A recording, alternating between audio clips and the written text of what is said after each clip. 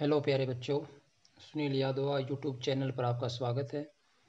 चलते हैं प्रश्नावली चार दशमलव दो पर। प्रश्न संख्या एक, निम्नलिखित विकल्पों में से कौन सा विकल्प सत्य है और क्यों? वाई बराबर है तीन एक्स जमा पाँच। एक अद्वितीय हल है।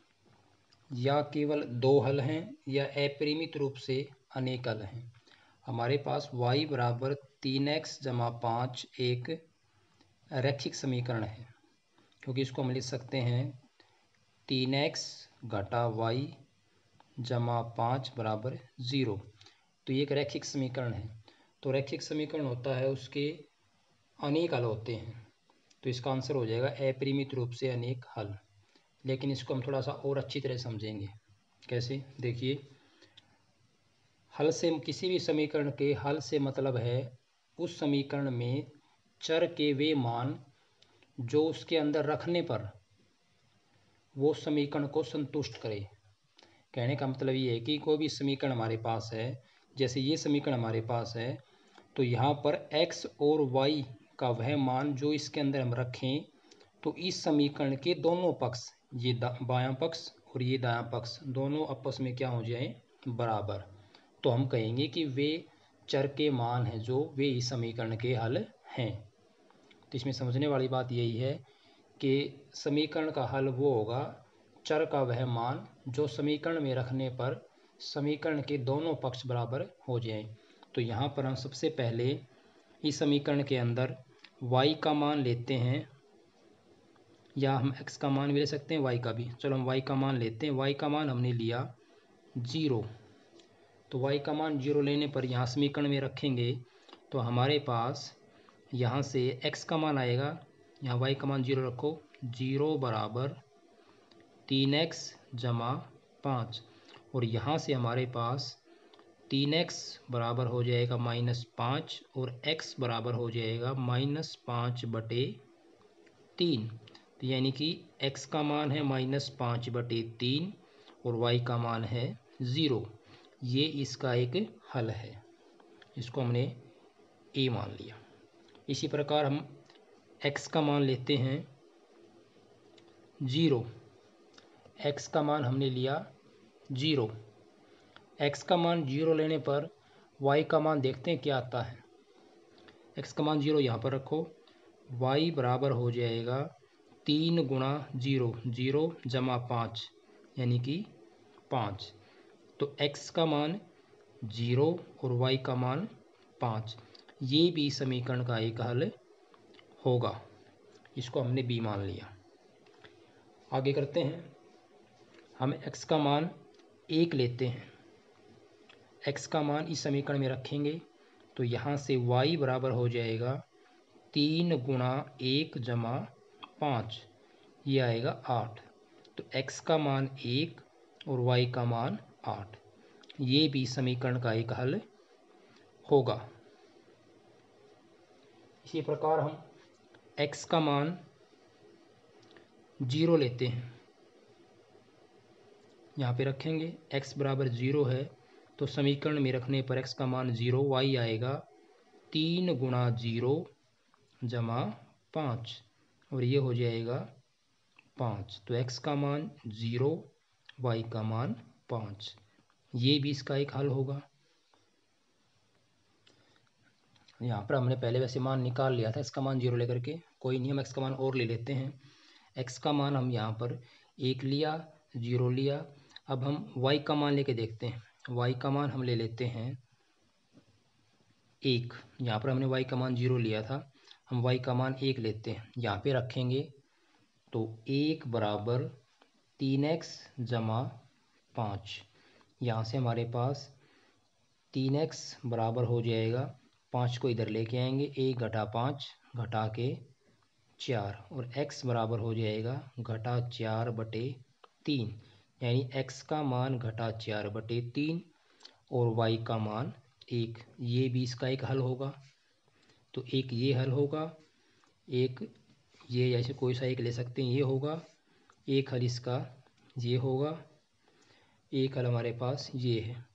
यानी कि हम इसके अंदर एक्स और वाई का कुछ भी मान लेके चलें तो हमारे पास हल अनेक आ रहे हैं। एक्स का कोई मान लेंगे तो उसके लिए वाई का कोई न कोई मान ज़रूर आएगा। वाई का मान लेंगे, उसके लिए एक्स का कोई न कोई मान ज़रूर आएगा। इस प्रकार हम एक्स वाई की अनेक वैल्यू लेकर के, अनेक मान लेकर के बहुत से हल ढूंढ सकते हैं। इसलिए हम कहेंगे कि इस समीकरण के अपरिमित रूप से अनेक हल हैं। तो इसका जो तीसरा पार्ट है, वो सत्य हो जाएगा। थर्ड ऑप्शन है जो, वो सही होगा। प्रश्न संख्या दो है, निम्नलिखित समीकरणों में से प्रत्येक समीकरण के चार हल लिखिए। यहाँ पर हमें प्रत्येक समीकरण के चार हल बताने हैं। जैसे प्रश्न नंबर एक में किया था हमने, वहाँ पर तीन चार मान निकाले थे। इसी प्रकार यहाँ पर भी हम प्रत्येक समीकरण के चार चार मान निकालेंगे तो पहला पार्ट है, उसको हल करते हैं। फ़र्स्ट है, दो एक्स जमा वाई बराबर सात। तो यहाँ पर हम एक्स का मान लेते हैं पहले। एक्स का मान हमने लिया ज़ीरो। एक्स का मान ज़ीरो लेंगे तो इसके लिए वाई का मान कितना आएगा? इस समीकरण में एक्स का मान ज़ीरो रखेंगे तो ये हो जाएगा वाई का मान हमारे पास आएगा। दो गुना ज़ीरो ज़ीरो हो जाएगा वाई बराबर सात। तो एक हमारे पास हल हो जाएगा इसका ज़ीरो और सात। ये इसका एक हल हो जाएगा। इसके बाद हम लेते हैं एक्स का मान एक। एक्स का मान एक लेंगे, यहाँ पे रखेंगे वाई बराबर हो जाएगा दो। उधर जाके घट जा, घट जाएगा सात घटा दो, यानी वाई का मान हमारा हो जाएगा पाँच। हमें एक्स का मान यहाँ पर एक रखा तो दो गुणा एक दो जमा वाई बराबर सात तो वाई हो जाएगा सात घटा दो पाँच। तो एक हल हो जाएगा एक और पाँच। इसी प्रकार एक्स का मान लेते हैं हम दो, या वाई का मान भी ले सकते हैं। एक्स का मान लिया हमने दो। एक्स का मान दो यहाँ पे रखेंगे तो यहाँ पे हो जाएगा दो गुणा एक्स यानी दो जमा वाई बराबर सात। यह आएगा चार जमा वाई बराबर सात। और यहाँ से हमारे पास वाई बराबर हो जाएगा सात घटा चार, यानी तीन। तो एक इसका हल हो जाएगा दो एक्स की वैल्यू दो और वाई की वैल्यू तीन। ये तीसरा हल हो जाएगा। एक वैल्यू हम वाई के लेके देख सकते हैं। वाई का मान लिया हमने ज़ीरो। इस समीकरण में रखेंगे दो एक्स जमा वाई यानी ज़ीरो बराबर सात। इसको हल करेंगे। दो एक्स बराबर सात, यहाँ से एक्स का मान हो जाएगा सात बटे दो। तो हमारा जो तीसरा चौथा हल है, वो हो जाएगा एक्स का मान सात बटे दो और वाई का मान ज़ीरो। ये इसका चौथा हल होगा। ये तीसरा, ये दूसरा। तो इस प्रकार से हमने इसके चार हल निकाल दिए एक्स और वाई के अलग अलग मान लेकर के। अगला पार्ट है सेकंड पार्ट ये हमारा फ़र्स्ट पार्ट था। सेकंड है पाई एक्स जमा वाई बराबर नौ। इसके भी हमें चार हल बताने हैं। तो यहाँ पर हम पहले एक्स का मान लेके चलते हैं ज़ीरो एक्स और वाई के मान को हम कुछ भी ले सकते हैं। तो हमने एक्स का मान लिया ज़ीरो एक्स का मान ज़ीरो समीकरण में रखेंगे तो हो जाएगा पाई गुणा ज़ीरो ज़ीरो और वाई बराबर आ जाएगा नौ। तो पहला हल हो जाएगा ज़ीरो और नौ। एक्स का मान ज़ीरो और वाई का मान नौ। अब लेते हैं हम एक्स का मान। ये समीकरण है हमारा।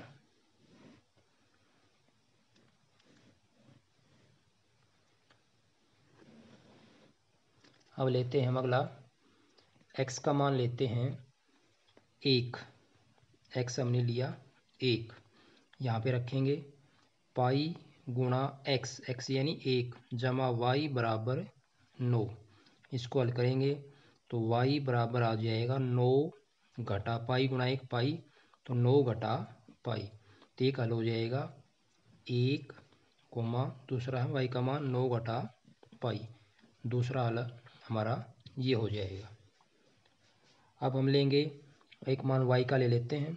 वाई का मान हमने लिया ज़ीरो समीकरण में रखेंगे वाई की जगह ज़ीरो तो पाई गुणा एक्स पाई एक्स जमा ज़ीरो बराबर नौ। यहाँ से हमारे पास पाई एक्स बराबर आएगा नौ।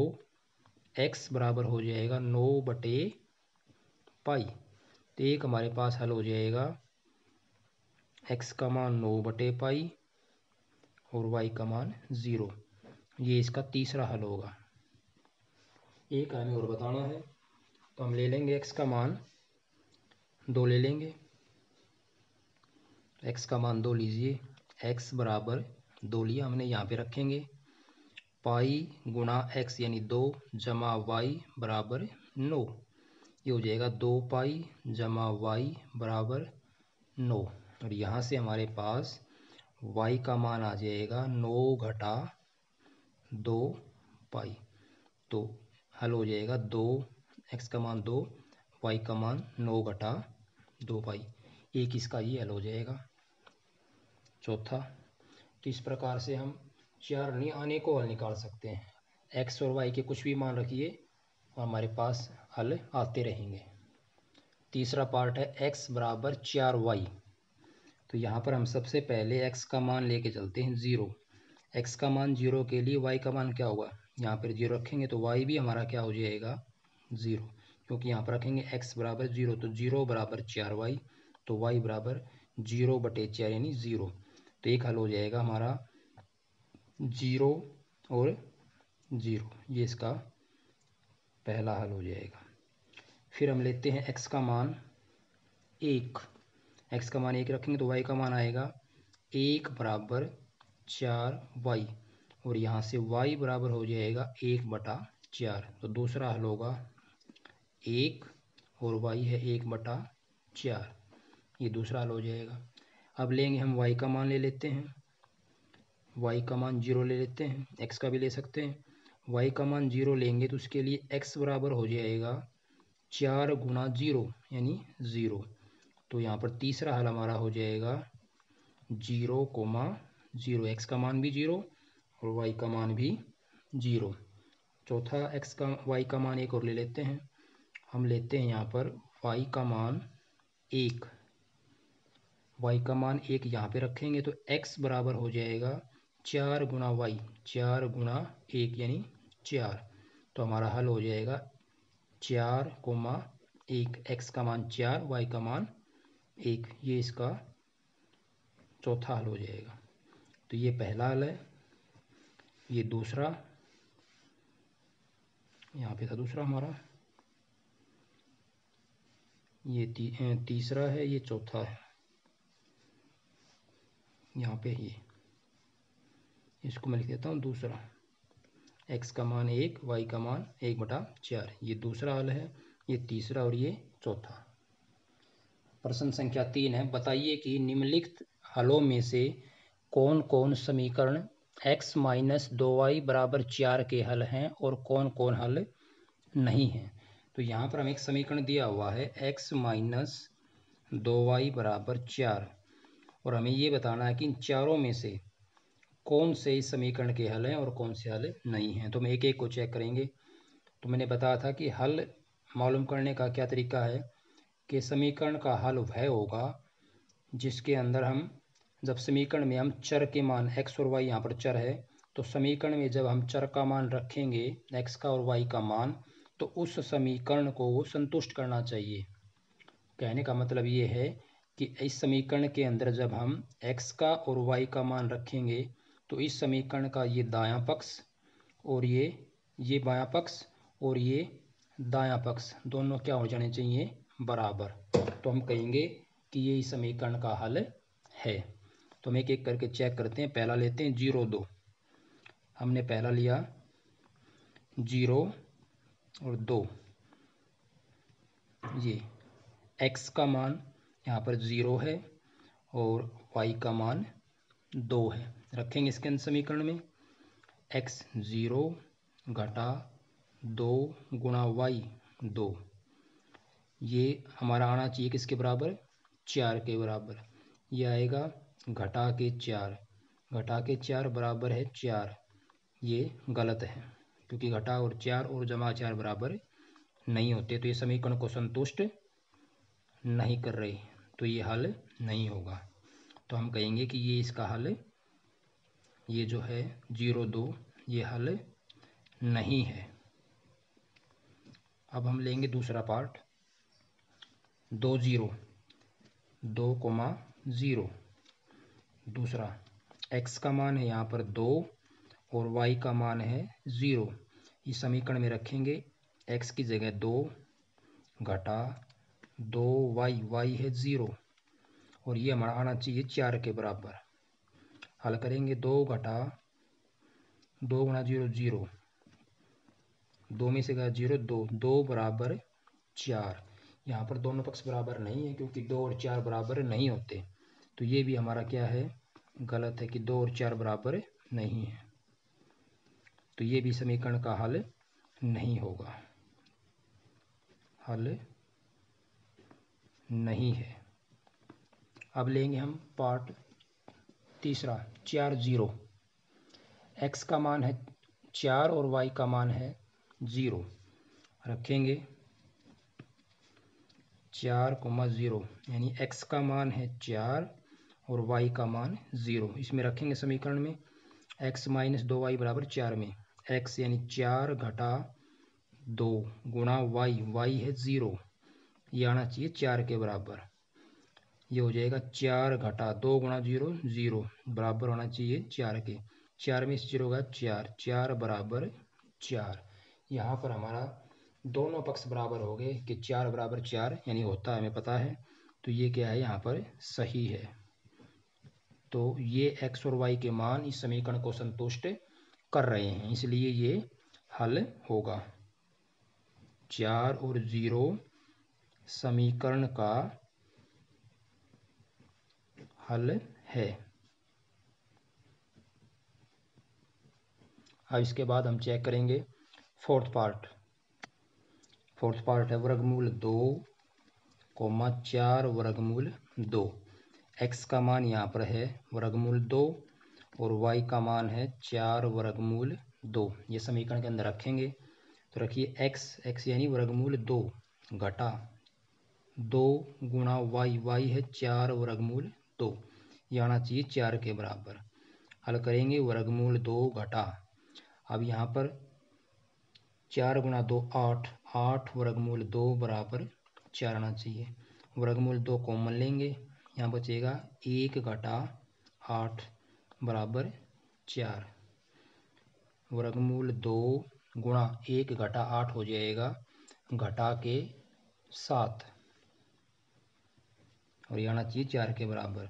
लेकिन ये माइनस सात वर्गमूल दो बराबर चार नहीं हो सकता, क्योंकि चार का और माइनस सात वर्गमूल दो अलग अलग हैं। तो ये क्या है हमारा गलत? इन मानों ने समीकरण को संतुष्ट नहीं किया तो ये समीकरण का हल नहीं होगा। तो लिखेंगे, ये भी समीकरण का हल नहीं है। तो इन चारों में से अभी तक सिर्फ़ चार और ज़ीरो, जो तीसरा ऑप्शन था, वही समीकरण का हल है, हुआ है। अब पांचवा पार्ट उसको लेके देखेंगे। पांचवा है, एक एक, यानी x का मान एक और y का मान भी एक समीकरण में रखेंगे। X घटा दो वाई एक्स यानी एक घटा दो वाई वाई है एक, बराबर आना चाहिए चार के। एक घटा दो बराबर चार, घटा का एक बराबर चार। चार और घटा का एक बराबर नहीं होते, ये भी गलत है। ये मान भी समीकरण को संतुष्ट नहीं करते। सॉरी गलत है। इसलिए हम लिखेंगे ये एक एक भी समीकरण का हल नहीं है। तो सिर्फ़ तीसरा पार्ट जो है, चार कोमा ज़ीरो, इन एक्स का मान चार और वाई का मान ज़ीरो, वही समीकरण का हल होगा। बाकी कोई भी समीकरण का हल नहीं होगा। तो हमारा जो तीसरा पार्ट है, चार ज़ीरो, ये ये सिर्फ़ समीकरण का हल है और नहीं है। प्रश्न संख्या चार है के का मान ज्ञात कीजिए, जबकि x बराबर दो वाई बराबर एक। समीकरण दो एक्स जमा तीन वाई बराबर के का एक हल हो। बहुत ही इंपॉर्टेंट सवाल है परीक्षा की दृष्टि से। तो आइए इसको करते हैं बिल्कुल आसान तरीके से। समझिए यहाँ पर हमें के का मान निकालना है और हमें दे रखा है कि एक्स का मान दो और वाई का मान एक। इस समीकरण का हल है। यहाँ पर हमें दिया हुआ है कि ये इसके हल हैं। तो हल है इसका मैंने मतलब क्या होता है, मैंने बताया था आपको कि कोई भी मान दे रखा है वो समीकरण का हल तभी होगा जब वो चर के मान, एक्स और वाई के मान उस समीकरण में रखने पर दोनों पक्ष बराबर हो जाएँ। तो यहाँ पर ये मान दिया हुआ है। पहले से कन्फर्म है कि इसके हल हैं। तो एक्स और वाई की ये जो मान है, समीकरण में रखेंगे और फिर हल करके के का मान निकाल लेंगे। तो आइए इसको हल करते हैं। बहुत ईजी क्वेश्चन है। एक्स का मान और वाई का मान हमें दिया हुआ है। दो एक्स जमा तीन वाई बराबर के ये एक समीकरण दिया हुआ है। दो चर के अंदर एक ये रैखिक समीकरण है। इसके हल हैं एक्स बराबर दो और वाई बराबर एक, दिए गए समीकरण के हल हैं। इसलिए ये समीकरण को संतुष्ट करेंगे। समीकरण को संतुष्ट करेंगे, यानी कि समीकरण के अंदर हम इनके मान रखेंगे। तो x बराबर दो और y बराबर एक समीकरण नंबर, इसको हमने एक मान लिया, समीकरण नंबर एक में मान रखने पर। x व y का मान समीकरण एक में रखने पर। तो आइए मान रखते हैं। दो एक्स एक्स यानी कि दो जमा तीन गुणा वाई वाई है एक। बराबर दे रखा है के के। यहाँ से चार जमा तीन बराबर के। और ये हो जाएगा सात बराबर के, यानी कि के बराबर है सात। तो ये के का मान हो जाएगा। तो बहुत ही इजी और ये बड़ा ही इम्पोर्टेंट क्वेश्चन है। तो उम्मीद करता हूँ आपको ये समझ में आया होगा। धन्यवाद।